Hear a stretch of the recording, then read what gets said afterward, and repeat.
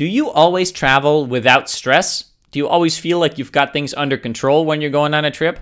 I sure don't, but I do know that things would be a lot more stressful for me if I didn't use OmniFocus to make my traveling and my trips a little bit easier. So, for those of you who don't know me, hello, my name is Peter, and I teach people how to get more stuff done and how to take control of their projects in a way that saves time and also just feels more relaxing. So, today I'd like to focus on the topic of traveling, which is a stressful topic for many people, and a lot of people are not able to enjoy some chunks of their traveling, such as waiting in line at the airport, right?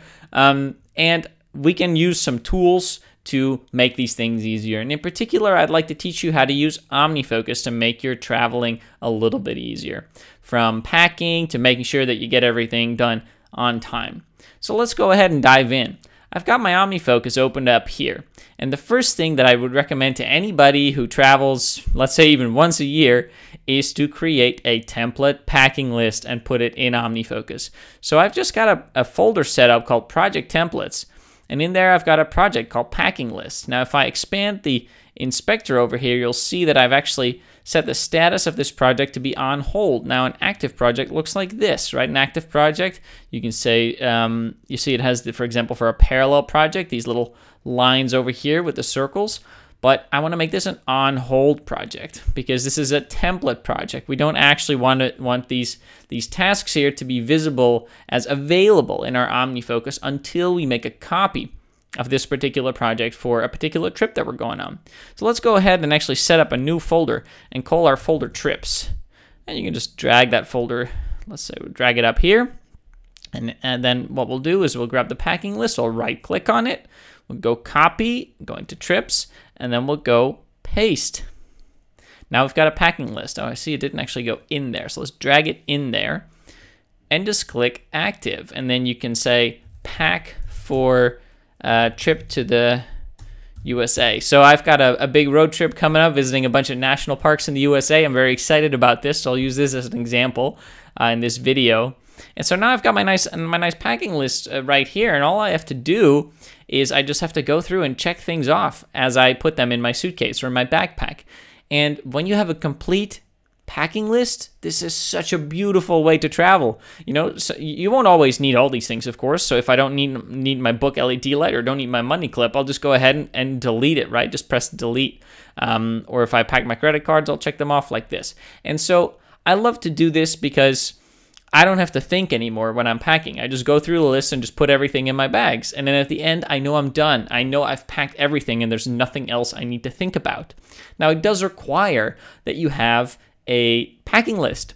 So you could go online and, and compile your own packing list and put it into OmniFocus, but a really easy way for you to do this is I actually have a resource for you that will help you do this. If you go to learn.peterakkies.net, you can find, and I'll put that link in the description below the video, by the way. You can find a ready to go OmniFocus project setup. And so I created a structure for you to um, organize your projects and your folders in OmniFocus, and you go ahead and, and get that off my website. Um, and it includes a packing list. It includes a template packing list, really pre-filled that will work great for you. Maybe you'll want to add a few of your own unique items that I'm not aware of, you know, um, but it should be a, a, fully, a mostly, mostly complete packing list for you. So if you're uh, someone who doesn't have a ton of time, I would highly recommend that you do that. Again, that's at learn.peterakkies.net, and I'll put the link um, in the description below the video. Anyway, you want to have a packing list, and for each trip, just go ahead and copy that, right? But there may be some other things as well that you need to do for the trip. So I like to go ahead and, and create another project. So just right click and go new project, and I'll just call it um, trip to the USA. So the way I think about it is there's some things I want to do before the trip, some things I want to do during the trip, and some things I want to do after the trip. So if you wanted to, you could actually make separate projects for this, and that's totally fine. I tend to not have that many tasks or actions, as OmniFocus calls them, while I'm on a trip, because most of my trips I'm on vacation, so I try not to, you know, I try to take it easy. So the way I usually do this is I'll, I'll have a task called prepare for trip, and uh, maybe one called um, process trip or something. And then I'll add tasks that I want to do on the trip in between. So maybe I'll be like, um, pick a time to meet with XYZ friend or something. That'd be something I do during the trip. But then prepare for the trip, this will be a task with subtasks. So I, will just go ahead and cl- uh, press enter. And then I'm going to go ahead and do command and then the, the square bracket to the right. So, so to me on my Mac, that sits above the enter or above the return key. Yeah. And that will indent the task and make it a subtask of prepare for trip. So again, to me, that's that, that's command and the right square bracket, and it will indent the task like this. I mean, obviously, you can also go ahead and drag it underneath there like this. And so prepare for the trip will include packing, but we've created a separate packing project. But there may be some other things you want to do. So for example, it might be check in for the flight.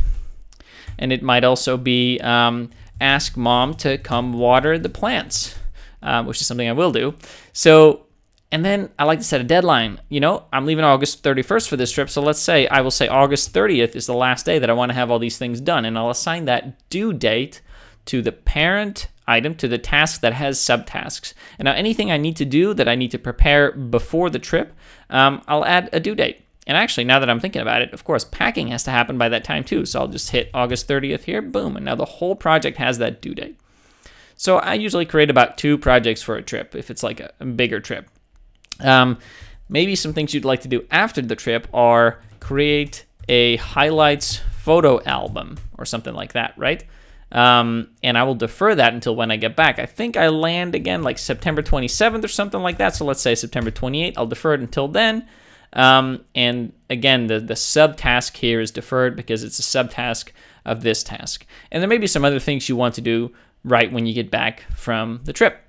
Um, this is in a nutshell, how I suggest that you use OmniFocus to prepare for a trip, to make sure you've got everything packed, um, and to just keep track of things that you'd like to do and when you really need them done by. And when you have a system like this, it may take you a couple of trips to really fine tune it, but it's so lovely to rely on it, especially when you've got that packing list that's uniquely yours. That's all the things you may ever want to bring. You just have to go down the list and either check things off or delete an item if you're not going to need it on this trip and it's a completely different experience, very free of stress. Um, just all around makes you able to enjoy your traveling more. So, this is what I do for making travel easier and more stress free uh, using OmniFocus. I'd love to hear if there are additional things that you do while you're traveling uh, in OmniFocus that are helpful so that we can share it with everybody else. And again, if you want to go and get my packing list, you can go to learn.peterakkies.net, and I'll put the link um, in the description of the video. Uh, of course, as always, if you like this video, I would love if you could give it a like. And if you'd like to be notified of additional videos, just go ahead and subscribe to the channel. Finally, if you want to really dive in deep with OmniFocus, you'll want to check out my OmniFocus 3 video course that's also available at learn.peterakkies.net. So, whoosh, that's great.